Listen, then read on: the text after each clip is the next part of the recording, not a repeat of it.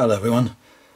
As well as accumulating a huge mountain of unpainted lead and plastic figures um, over the over the years I've also built up a, a significant number of model buildings that uh, I've just put away and never got around to painting up so I've made a sort of resolution to include a, a building on my worktop for the next couple of months and try and get through a few of them.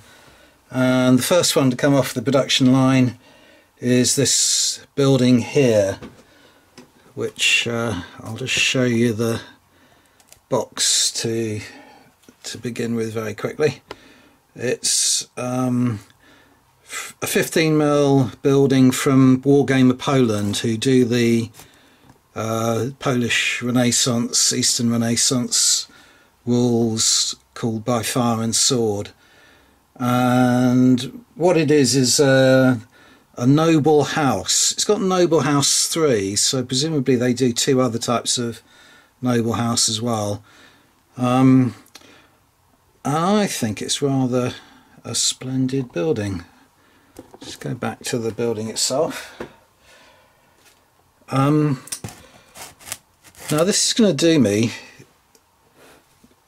first of all for the walls by fire and sword and I've, I've still not got round to painting up two armies for that yet. I've, I've got my Cossacks completed.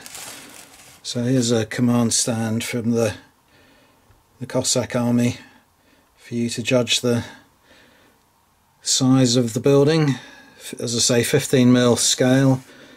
Um, but it's also going to do me this building for the Russian Civil War. It's ideal for that um, because it's kind of building you would get virtually anywhere from Poland through the Ukraine um, into Russia possibly and um, my other thoughts about it are that I've it, it does look very similar to some uh, buildings that you might get in the Crimea. Now, as you probably know, I'm I'm big on the Crimean War and and building up an 18 mil um, armies to play that. So here's uh, Lord Raglan in 18 mil, and he, he's large for it, yeah, but I don't think it will matter too much. And um, this is exactly the sort of building that Raglan would have uh,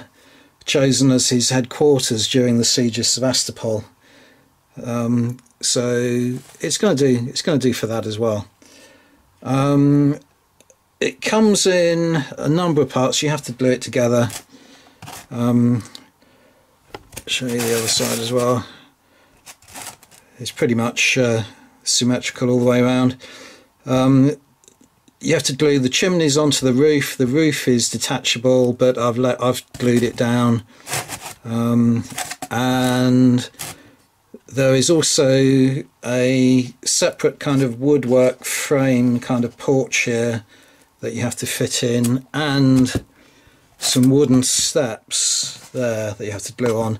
Now I've glued these wooden steps to the this side of the house with this door here. Otherwise there's quite a dramatic um, step up to this door. Um, if I take you back to that, you can see it's up to above waist height, so I think that's where the steps are meant to be. Um, however, on the artwork, the steps are on the other side of the, the house, up against that wooden wooden framed entrance and yet I couldn't for the life of me get it to fit there. It was a struggle to um, to get the actual wooden frame to fit in and then it, it leaves no space to uh, get the steps in so I, I thought it made more sense to put it on the other side and that looks like a sort of wooden steps up. Whether that is the front or the back of the house I don't know because that door is a lot grander so I think that is the front of the house there.